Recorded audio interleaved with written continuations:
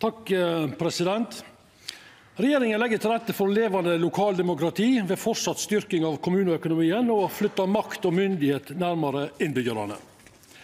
Samtidig står Norge overfor en kontinuerlig omstillingsbehov for å sikre vår felles velferd. Vi må skape flere grønne jobber og kvalifisere folk til de nye jobbene.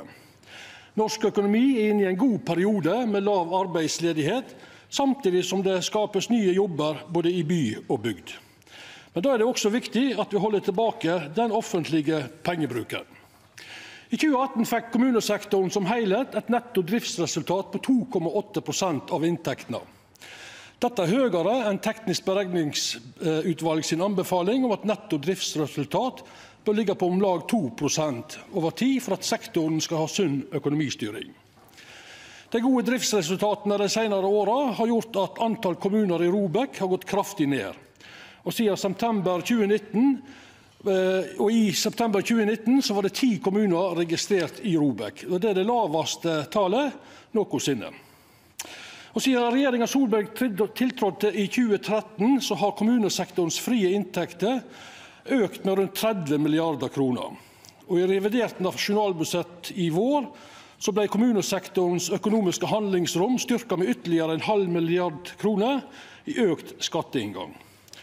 Høg skatteinngang gjev også god kommuneøkonomi i 2019. No ligg det altså an til at kommunesektorens skatteinntekter vil verta styrkte med 4,9 milliarder kroner høgare enn det vi la til grunn i revidert nasjonalbudsjett. Årsaken er at sysselsettinga veks meir enn tidlegare anslått.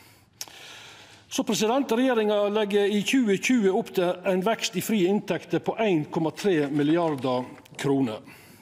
Veksten er lavere enn tidligere år fordi veksten i kommunens utgifter knytt til befolkningssammensetning og pensjon er lavere enn tidligere år.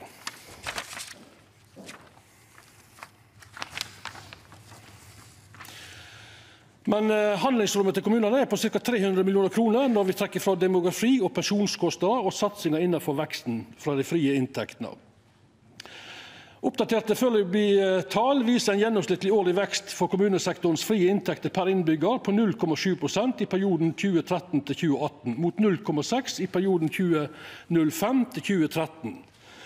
Effekten i kommunesektoren har gått ned de senere åra, men kommunene kan effektivisere driften sin. Eller om de gjør det med en halv prosent, vil det frigjøre ytterligere 1,3 milliarder kroner som kan brukast til styrking av tenestetilbodet utover veksten i dei frie inntektene som kommunane får. Takk, president.